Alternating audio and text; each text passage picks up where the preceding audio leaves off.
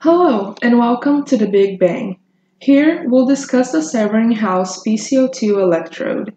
The Severinghaus electrode is an electrochemical sensor that measures the partial pressure of carbon dioxide as a voltage using an embedded pH electrode. It measures the partial pressure of CO2 by taking advantage of an underlying redox reaction. PCO2 is defined as the partial pressure of carbon dioxide in the blood. It is normally measured using units of millimeters of mercury.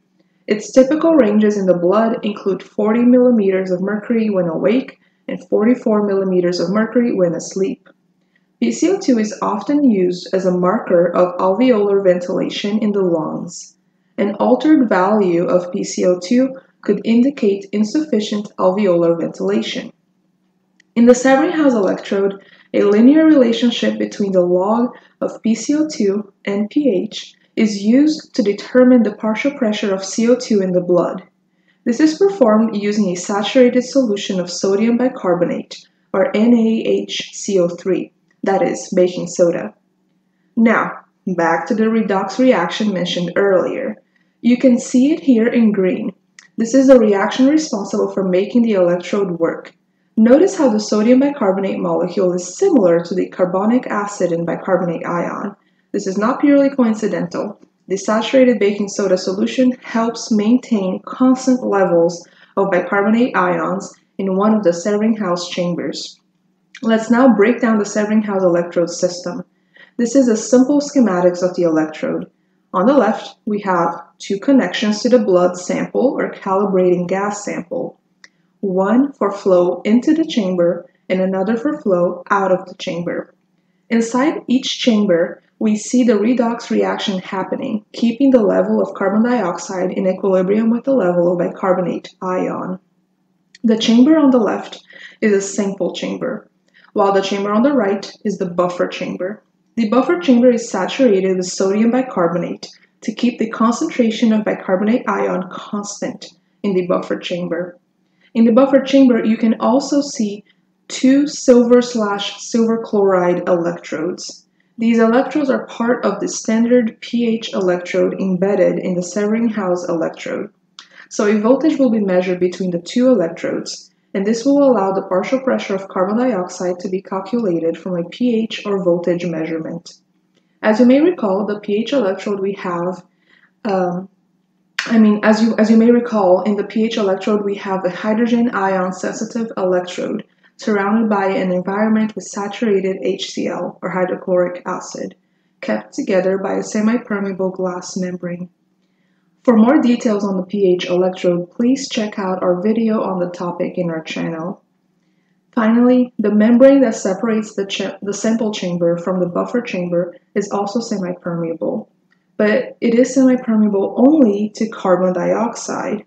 That is, carbon dioxide levels are equalized between the sample chamber, which has the CO2 level we want to measure, and the buffer chamber, which we will use for our measurements. Carbon dioxide molecules can then diffuse freely through the membrane and between the two compartments via free diffusion. This also means that you should expect the concentration of carbon dioxide to be equal between the two compartments. So the idea is that carbon dioxide levels in the sample chamber equilibrate with the CO2 levels in the buffer chamber. Then that level will influence the level of hydrogen ions via the redox reaction. And finally, the pH electrode will detect the level of hydrogen ions and spit out a corresponding voltage.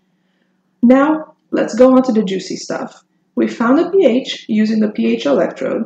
What does this mean in terms of the partial pressure of carbon dioxide in the sample? This very simple equation can actually reveal the partial pressure of CO2 from a pH value measured by the pH electrode. The constant in the equation is dependent on the concentrations of hydrogen ion, bicarbonate ion, and CO2. But this is not actually something you need to worry about, which is why I simply labeled it as constant. You will actually measure this constant when you calibrate the Severinghaus electrode using a sample with a known value of partial pressure of CO2. Now, if you want to measure the partial pressure of CO2 from your voltage measurement, you will use this new equation with the purple constant. Notice that the equation is quite similar, but I wrote the constant in a different color to highlight that this constant is different from the green constant in the previous equation.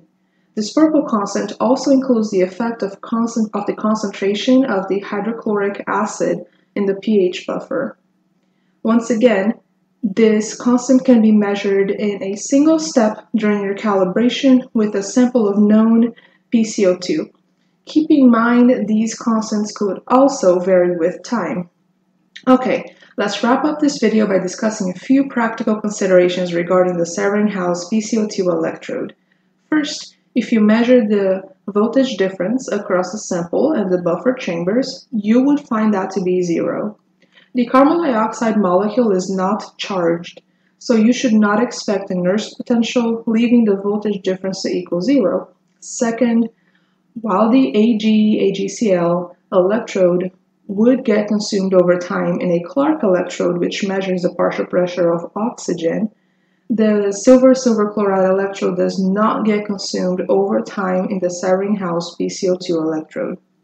Third, your sample should ideally not have a limited volume or a fixed finite volume. It should flow through the chamber with a non-zero flow rate. This is particularly important to ensure that enough CO2 from the sample is provided to the chamber.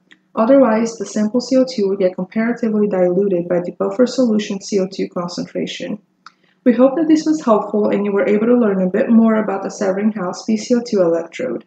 Good luck on your studies and I'll see you next time.